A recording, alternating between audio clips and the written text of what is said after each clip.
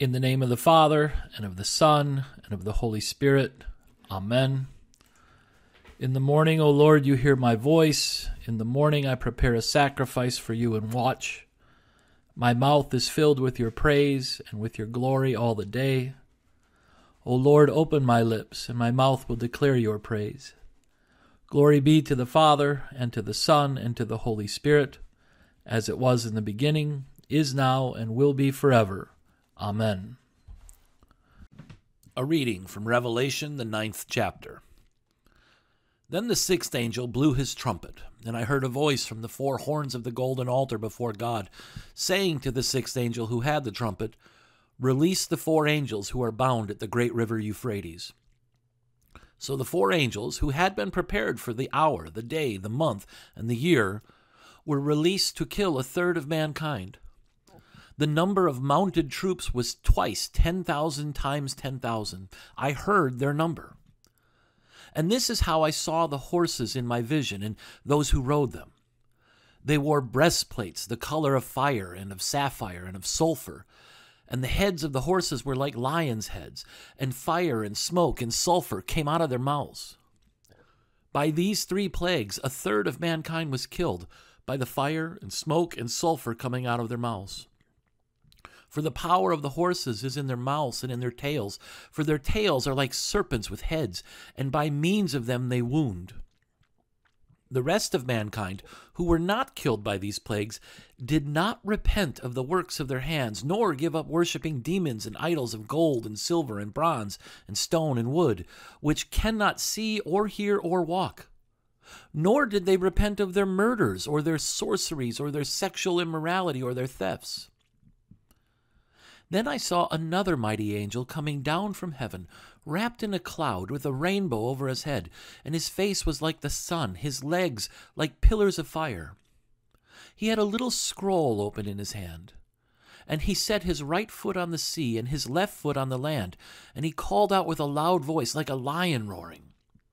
When he called out, the seven thunders sounded. And when the seven thunders had sounded, I was about to write, but I heard a voice from heaven saying, Seal up what the seven thunders have said. Do not write it down.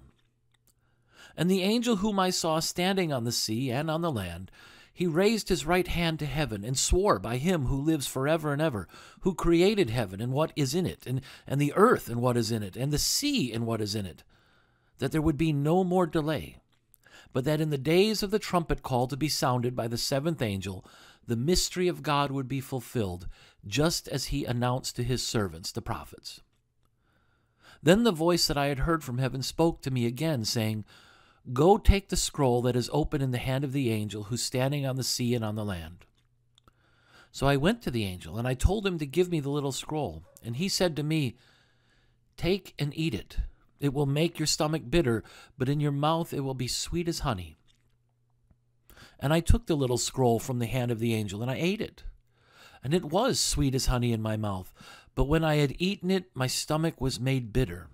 And I was told, You must again prophesy about many peoples, and nations, and languages, and kings. This is the word of your Lord.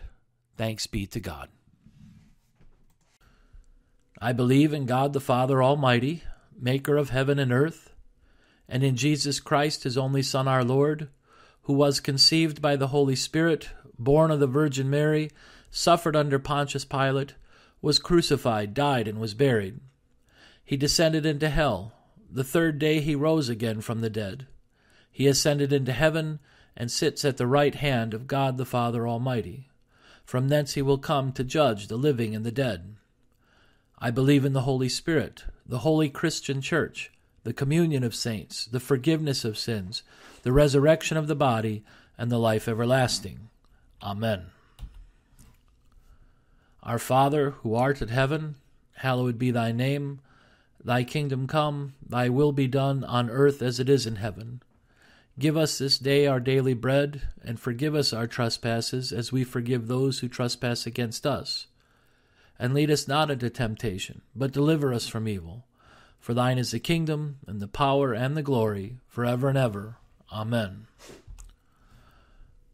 Almighty God, merciful Father, who created and completed all things, on this day when the work of our calling begins anew, we implore you to create its beginning, direct its continuance, and bless its end, that our doings may be preserved from sin, our life sanctified, and our work this day be well pleasing to you.